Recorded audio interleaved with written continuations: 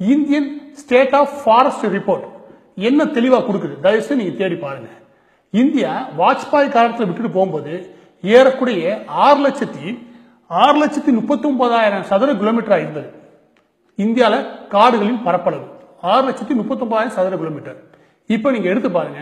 அது ஏறக்குறைய ஏழு லட்சம் சதுர கிலோமீட்டராக மாறி இருக்கு. இப்போ உங்கள் வீடியோவில் வந்து நீங்கள் சொல்லியிருந்தீங்க ஒரு பர்சன்டேஜ் ஆஃப் ஃபாரஸ்ட் வந்து இன்க்ரீஸ் ஆகுது அப்படின்னு சொல்லி சொல்லியிருந்தீங்க. அது வந்து ஹண்ட்ரட் பர்சன்ட் ஃபேக்ட்டு போய் கவர்மெண்ட்டுடைய மினிஸ்ட்ரியோடைய அந்த ரிப்போர்ட் எடுத்து படித்து பார்த்தாலும் எஸ் ஃபே ஃபாரஸ்டினுடைய அளவுகள் வந்து கண்டிப்பாக கூடியிருக்கு. ஆனால் நீங்கள் சொன்னது இந்திய அளவில் தமிழ்நாட்டு அளவில் எடுத்து படித்து பார்த்தோம் அப்படின்னா தமிழ்நாட்டில் மட்டும் பார்த்தீங்க அப்படின்னா இரண்டாயிரத்தி ஒன்பதாம் ஆண்டு இருபத்தி மூவாயிரம் ஸ்கொயர் கிலோமீட்டர் அளவுக்கு ஃபாரஸ்ட் ஏரியா இருந்திருக்கு. ஆனால் அதே சமயம் ரெண்டாயிரத்தி பதினஞ்சு வந்தீங்க அப்படின்னா இருபத்தி ரெண்டாயிரம் ஸ்கொயர் கிலோமீட்டர் ஃபாரஸ்ட் ஏரியாவாக குறைஞ்சிருக்கு. அதாவது இந்திய அளவில் இன்க்ரீஸ் ஆகிருக்கக்கூடிய ஃபாரஸ்ட் ஏரியா தமிழ்நாடு அளவில் பார்க்குறப்ப தௌசண்ட் ஸ்கொயர் கிலோமீட்டர் அளவுக்கு குறைஞ்சிருக்கு. இதுவும் நான் சொல்லலை நீங்கள் சொன்ன அதே கவர்மெண்ட் ரிப்போர்ட்ஸ் தான் சொல்லுது. ஸோ நீங்கள் இந்தியா லெவலில் பார்க்குறத குறைச்சிட்டு ஃபஸ்ட்டு தமிழ்நாட்டு லெவலில் பார்த்தீங்க அப்படின்னா நம்ம இருக்கக்கூடிய ஏரியாவில் நிறையாவே மரங்கள் அழிக்கப்பட்டுட்டு வருது. இதில் ரெண்டாவது விஷயம் வந்து பார்த்தீங்க அப்படின்னா இரண்டாயிரத்தி பதினைந்தாம் ஆண்டு இந்தியா டைம்ஸ் டாட் காம் அப்படிங்கக்கூடிய வெப்சைட்டில் விட்டுருக்கக்கூடிய ஒரு பதிவு இது. அதாவது ஆயிரத்தி தொள்ளாயிரத்தி தொண்ணூற்றி ஏழில் வந்து நம்மளுடைய ஏரி குளங்களுடைய எண்ணிக்கை எந்த அளவுக்கு இருந்துச்சு? வாட்டர் பாடிஸ் தமிழ்நாட்டில் எந்த அளவுக்கு ரன் ஆச்சு அப்படிங்கிறதையும் இரண்டாயிரத்தி பதினான்காவது வருடம் எந்த அளவுக்கு வாட்டர் பாடிஸ் ரன் ஆயிருந்தது அப்படிங்கிறதையும் அவங்க வந்து கம்பேர் பண்ணி சொல்லியிருக்காங்க. ஸோ அப்படி கம்பேர் பண்ணின அந்த ஃபோட்டோகிராஃபியை இப்போ இந்த இடத்துல நீங்கள் பார்க்கலாம். இதுலேருந்து என்ன தெரியுது அப்படின்னு பார்த்தீங்கன்னா தமிழ்நாட்டு அளவில் ஃபாரஸ்டினுடைய ஏரியா குறைந்து கொண்டு வருகிறது அப்படிங்கிறதும் ஒரு நிரசனமான உண்மை. அது மட்டும் இல்லாமல் வாட்டர் பாடிஸினுடைய லெவலும் குறைஞ்சிக்கிட்டே வருது அப்படிங்கிறதுக்கும் ப்ரூஃப் வந்து அட்டாச் பண்ணியிருக்கேன். நீங்க எதுக்கு தெரியுமா போராட்டம் பண்ணிருக்கீங்க கச்சா எண்ணெய் நாங்க மேற்கொண்டு பயன்படுத்துவோம். எங்களுக்கு விலையை குறைங்கன்னு பயன்படுத்திருக்கீங்க உண்மையை சொல்லுங்க. பண்றீங்களா இல்லையா? நீங்க எரிக்கிற ஒவ்வொரு எரிபொருளுக்கும் கவர்மெண்ட் வேலை பார்த்துட்டு இருக்கீங்க. எஸ் அஃப்கோர்ஸ் நீங்கள் சொன்ன மாதிரி நாங்கள் வந்து கச்சா எண்ணெய்களை வந்து அதிகமாக பயன்படுத்துவோம். ஆனால் அதனுடைய விலைகளை குறைங்க அப்படின்னு சொல்லி தான் கேட்டுக்கிட்டு இருக்கோம். இது நூற்றுக்கு நூறு உண்மை. ஆனால் இதில் இன்னொரு விஷயம் நீங்கள் பார்த்தீங்க அப்படின்னா இருக்கக்கூடிய கருவேல மரங்கள் எல்லாத்தையுமே தொண்டு ஆர்வலர்களையும் தொண்டு நிறுவனங்களையும் வச்சு ஓரளவு அழிச்சிட்டு வந்துட்டாங்க. ஸோ அல்டிமேட்டாக எல்லாருக்குமே வந்து பேங்க் அக்கௌண்ட் ஓப்பன் பண்ணி கேஸ் மானியம் வந்து கொடுக்குறதா சொல்லி எல்லாரையுமே கேஸ் வாங்க வச்சுருக்கீங்க. ஸோ அது எப்படி கேஸை வந்து கம்பல்சரி நம்ம யூஸ் பண்ணணும் அப்படிங்கக்கூடிய ஒரு சுச்சுவேஷனை கொண்டு வந்துச்சோ அதே மாதிரி ஆட்டோமொபைல் செக்டரில் நீங்கள் பார்க்குறப்ப சென்னை வந்து அதிக அளவில் மேனுஃபேக்சரிங் பிளான்ஸ் இருக்கக்கூடிய ஒரு மாவட்டமாக இருக்குது ஸோ அப்படிங்கக்கூடியறப்ப இந்த தமிழ்நாடு மாநிலத்தில் அதிகப்படியான வாகனங்கள் பயன்பாடு ரொம்பவே அதிகமாகிக்கிட்டு வருது. இது நம்ம லேட்டஸ்ட்டாக இருக்கக்கூடிய அந்த ரிப்போர்ட்ஸ் எடுத்து படிச்சு பார்த்தோம் அப்படின்னாலே நம்மளுக்கு தெரியும். அது மட்டும் இல்லாமல் கவர்மெண்ட்டில் இருந்தே வேற இலவச மானியம் கொடுக்குறீங்க ஸ்கூட்டர் வாங்குறதுக்கு. அஃப்கோர்ஸ் இதெல்லாமே நல்ல திட்டம் அப்படிங்கும்போது நாங்கள் அல்டிமேட்டாக கண்டிப்பாக பெட்ரோலுங்கிற ஒரு யூசேஜை பயன்படுத்தி தான் ஆகணும். ஆனால் அதனுடைய விலை கொஞ்சம் கொஞ்சமாக நாட்களாக நாட்களாக கூடிக்கிட்டே போகுது.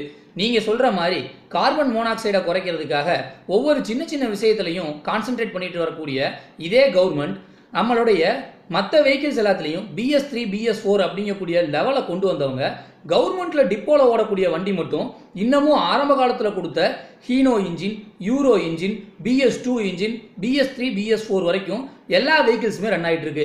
சுந்தரா டிராவல்ஸ் மாதிரி புகத்தல்ற வண்டி கவர்மெண்ட்டில் எக்கச்சக்கமாக இருக்குது கிராமத்துப்புறம் வந்து பார்த்தீங்க அப்படின்னா அந்த வண்டியிலேருந்து வெளியில் வரக்கூடிய கார்பன் மோனாக்சைடு அளவு கவர்மெண்ட் நாம்ஸோட கண்டிப்பாக கூட தான் இருக்கும்.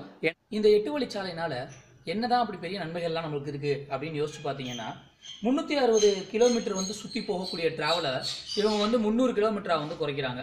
ஸோ அப்படி முந்நூறு கிலோமீட்டராக குறைக்கிறதுனால நம்மளுக்கு என்ன பெனிஃபிட் அப்படின்னு பார்த்தீங்கன்னா அந்த சிக்ஸ்டி கிலோமீட்டர்ஸ் வந்து லெவல் குறையிறதுனால ஆட்டோமொபைல்லேருந்து வெளியில் வரக்கூடிய கார்பன் மோனாக்சைட்ஸ் வந்து குறையும். அண்ட் செகண்ட் விஷயம் வந்து பார்த்தீங்க அப்படின்னா நீங்கள் வந்து ஒரு த்ரீ ஹவர்ஸில் வந்து குயிக்காக வந்து ட்ராவல் பண்ணிடலாம் ஸோ இது ரெண்டும் தான் வந்து பார்த்தீங்க அப்படின்னா இந்த எட்டு வழிச்சாலையினால் நமக்கு இருக்கக்கூடிய மிகப்பெரிய நன்மைகள். ஆனால் இதை பண்ணுறதுக்காக என்னென்ன மாதிரியான ஸ்டெப்பெல்லாம் எடுத்திருக்காங்க அப்படின்னு நம்ம பார்க்குறப்ப ஓவராலாக ஒரு பத்தாயிரம் ஏக்கர் விவசாய நிலம் வந்து இதுக்காக அளிக்கப்படுது அண்ட் அது மட்டும் இல்லாமல் ஒரு ஐநூறு ஏக்கர் வனப்பகுதியும் இதுக்காக அளிக்கப்படுது ஸோ ஓவராலாக இதில் இருக்கக்கூடிய மரங்கள் எல்லாமே வெட்டி வீழ்த்தப்படுது. இதுக்கு அடுத்து வந்து பார்த்தீங்க அப்படின்னா ஜருகுமலை அருநூற்றுமலை சேர்வராயன் மலை சின்ன கல்ராயன் மலை. மொத்தம் இந்த நான்கு மலைகள் மட்டும் இந்த சேலம் மாவட்டத்தில் குடைந்து ரோடு போடுறாங்க. அண்ட் அதுக்கப்புறம் பார்த்தீங்க அப்படின்னா கிருஷ்ணகிரி மாவட்டத்தில் ஒரு சில காடு பகுதிகள் வந்து அழிக்கப்படுது. திருவண்ணாமலை மாவட்டத்தில் கவுத்திமலை வேதிமலை அப்படின்னு சொல்லி இரண்டு மலைகளையும் குடைய வேண்டிய ஒரு சூழ்நிலை ஏற்படுது. இதுக்கப்புறமா தர்மபுரியில் சித்தேரி மலை அப்படின்னு சொல்லி ஒரு மலையையும் குடைய வேண்டிய சூழ்நிலை ஏற்படுது. ஸோ இத்தனை மலைகளை குடைஞ்சு இவ்வளவு ஏக்கர் நிலத்தை வந்து அழிச்சு விவசாய நிலங்களை அழிச்சு இந்த ரோடு வந்து போடப்படுது. இப்போ ரீசெண்டாக நடந்த ஒரு பேட்டியில் வந்து பார்த்தீங்க அப்படின்னா விவசாயத்தினுடைய விவசாய சங்கத்தினுடைய மாநில செயலாளர் பி சண்முகம் அப்படிங்கிறவர் என்ன சொல்லியிருக்காருன்னா இந்த ரோடு அமலாக்கத்துக்கு வந்துச்சு அப்படின்னா எங்களுக்கு பல வகையான விவசாய தொழில்கள் வந்து பாதிக்கப்படும் அப்படின்னு சொல்லி ஒரு பேட்டி கொடுத்துருக்காரு. ஸோ இந்த ப்ராஜெக்ட்டுக்கு ஒட்டுமொத்தமாக கவர்மெண்ட் ஒதுக்கி இருக்கிற அமௌண்ட் எவ்வளோன்னு பார்த்தீங்க அப்படின்னா பத்தாயிரம் கோடி. இந்த பத்தாயிரம் கோடியில் ஒரு ஆயிரத்தி ஐநூறு கோடி ப்ராப்பராக ஒதுக்கி வச்சாங்க அப்படின்னா ஏரிகளை தூர்வாரிட முடியும் குளங்கள் தூர்வார முடியும் அணைகள் தேவையான இடங்களுக்கு கட்டி கொடுக்க முடியும். ஆனால் அதை விட்டுட்டு இந்த டென் தௌசண்ட் க்ரோஸ் ஆஃப் மணியை வந்து செலவு பண்ணி ஓவராலாக வந்து ஒரு ரோடு வந்து எட்டு வழி சாலை வந்து போடுறாங்க.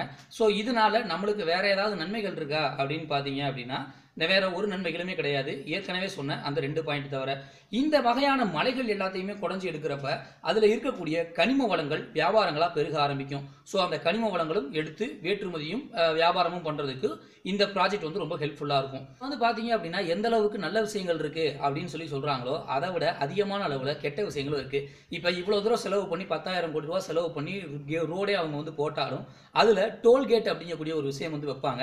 ஸோ டோல்கேட் வைக்கிறப்ப அந்த வழியாக டிராவல் ஆகக்கூடிய காய்கறி வண்டிகள் அப்புறம் நம்மளுடைய தேவையான கூட்ஸ் எல்லாம் ஏற்றிட்டு போகக்கூடிய வண்டி எல்லாமே அதன் வழியாக அதை ட்ராவல் பண்ணுங்கும்போது அவங்க டோல்கேட்டுக்கு பணம் பே பண்ண வேண்டிய சூழ்நிலை வரும். அப்போ அல்டிமேட்டாக பொருட்களுடைய விலை கூடவும் ஆரம்பிக்கும். அண்ட் அது மட்டும் இல்லாமல் இதில் மிகப்பெரிய ப்ராப்ளம் என்ன அப்படின்னா தமிழ்நாட்டினுடைய ஒட்டுமொத்த ரிசோர்சஸ் அதிக அளவில் தீந்து போக ஆரம்பிக்கும் அப்படின்னே சொல்லலாம். ஸோ காய்கறிகள் விலை அதிகமாக கூடப்படும். ஏன்னா ஏற்கனவே விவசாய நிலங்களும் அளிக்கப்படுது. அட் த சேம் டைம் டோல்கேட்னுடைய ரேட்டும் இன்க்ரீஸ் ஆகுது. ஓவராலாக காய்கறி வந்து மார்க்கெட்டுக்கு ட்ரான்ஸ்ஃபர் ஆகிறதுக்கு வந்து அந்த ரோடை பயன்படுத்துகிறப்ப அதிகப்படியான விலைகள் வந்து கூட ஆரம்பிக்கும். ஸோ இந்த ப்ராஜெக்டில் மக்களுக்கு எந்த அளவுக்கு நன்மைகள் இருக்கோ அதே அளவுக்கு தீமைகளும் இருக்கு. ஸோ கவர்மெண்ட் வந்து இதை ஒரு ப்ராப்பரான சொல்யூஷன் தேர்ந்தெடுத்துட்டு அதுக்கப்புறம் அமலாக்கம் பண்ணுறதுக்கு உண்டான ஸ்டெப்ஸ் எடுத்தாங்கன்னா நல்லா இருக்கும். நன்றி வணக்கம்.